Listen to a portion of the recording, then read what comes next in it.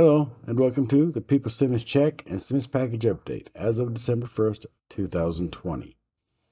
A group of senators, both Democratic and Republican, have uh, put together a $908 billion stimulus package proposal. And I will cover what is inside the stimulus package proposal a bit later in my program. You'll stick with me on that on that one. Um, the senators that are proposing this bill are going to be, I'll be put their name up on my upper left hand corner of my screen so you can see their names. In fact, I'll put them up there right now for you. And this $908 billion bill is a watered down version of the stimulus package, of a stimulus package. It's like uh, Mitch McConnell's $500 billion bills that he wants to try to pass and then try to blame Nancy Pelosi because he's not trying to help the people, he's trying to help the businesses. Well, the people also are what make the businesses go, so he, he should help out everybody. But except Nancy Pelosi will not like this proposal at all.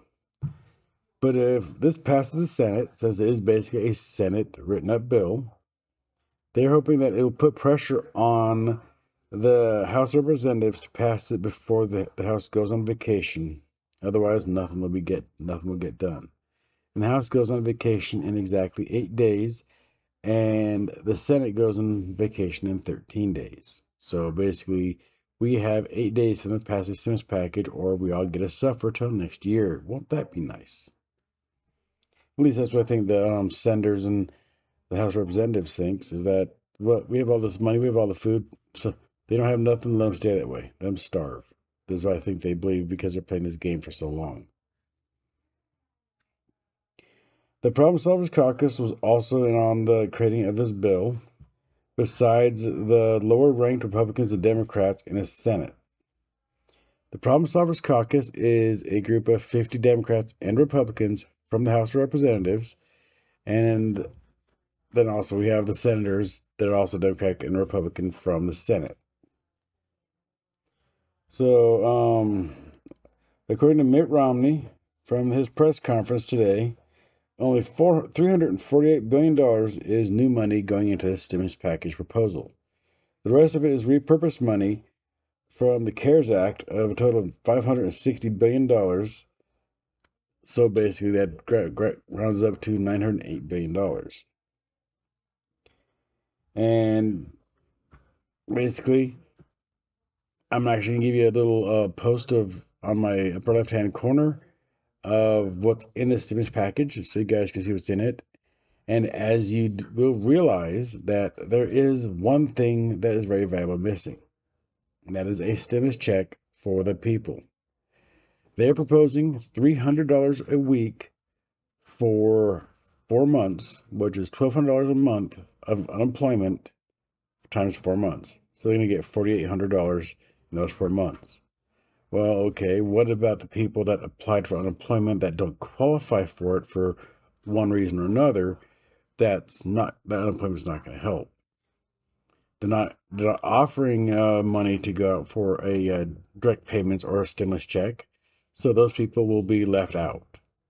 They're offering money for uh, paycheck protection. They're offering money for transit. They're offering six months of liability protections for COVID-related illness, for COVID-related uh, problems in businesses, compared to what uh, Mitch McConnell wants, which was five years. And Nancy Pelosi believes that five years is too long because they she thinks that we'll have this this disease taken under control by the end of this year. So she thinks maybe one year at best would be good for the um, liability protection. And they said, there's a, there's a lot of a lot of things in there as well. There's money there for transit, as well as I mean they threw what was it? I can't remember exactly what they threw in there with transit. But they threw another thing in there with the transit that sort of uh, confusing. But like I said, transit is in there as well as other things in there as well. So like I said, if you want, just look in the upper right hand left hand corner of my screen, and you'll see everything that's in the proposed stim, uh, COVID relief bill that these senators are trying to, and Problem Solvers Caucus is trying to propose. And on our COVID 19 front, we have reported 167,579 new cases on Monday with 1,265 fatalities.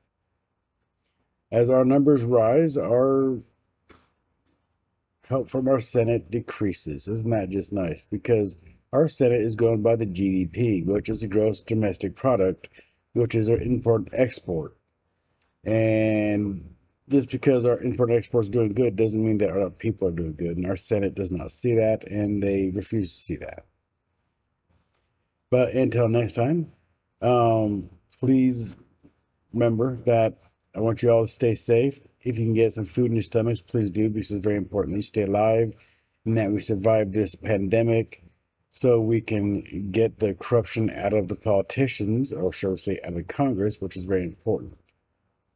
So until next time, you guys have a wonderful evening. And remember, this is and always will be the People's Stimulus Check and Stimulus Package Update.